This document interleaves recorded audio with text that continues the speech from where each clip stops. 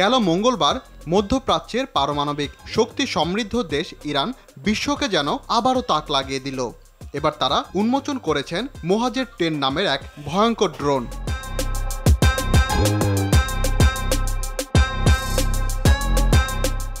ইরানের প্রতিরক্ষা শিল্প দিবস উপলক্ষে দেশটির প্রতিরক্ষা মন্ত্রণালয় এবং সশস্ত্র বাহিনী এই ড্রোন উন্মোচন করেই হুমকি দিল ইসরায়েলকে। ভয়ঙ্কর এই ড্রোন দ্বারা খুব সহজেই ইসরায়েলকে বিধ্বস্ত করা যাবে বলে জানায় তেহরান।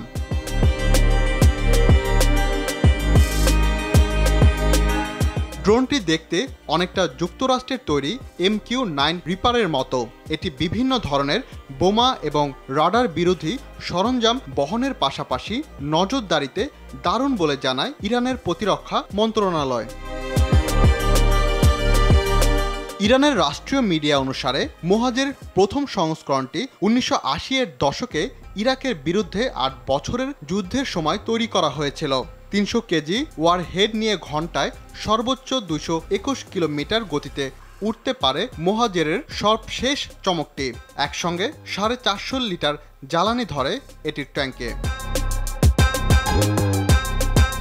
ড্রোনটি সাত হাজার মিটার বা চার হাজার সাড়ে তিনশো ফুট উচ্চতায় এবং দুই হাজার কিলোমিটার বা এক হাজার দুইশো বিয়াল্লিশ মাইল পর্যন্ত বিরতিহীন ভ্রমণ করতে পারে, যার অর্থ এটি ইসরায়েলেও পৌঁছাতে পারে।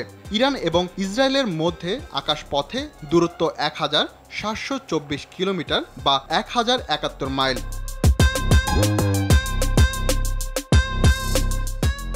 অনুষ্ঠানে ইরানের প্রেসিডেন্ট ইব্রাহিম রাইসি জানান, নতুন দুটি দূরপাল্লার ব্যালিস্টিক ক্ষেপণাস্ত্র আইআরজিসির কাছে তুলে দেওয়ার জন্য প্রস্তুত তারা। এছাড়া তিনি জানান, ইরান সব দেশের সঙ্গেই বন্ধুত্বপূর্ণ সম্পর্ক রাখতে চায়। তবে ইরানে হামলা চালাতে চায় এমন যে কোনো দেশকে হামলা চালাতে তারা দ্বিধা করবে না।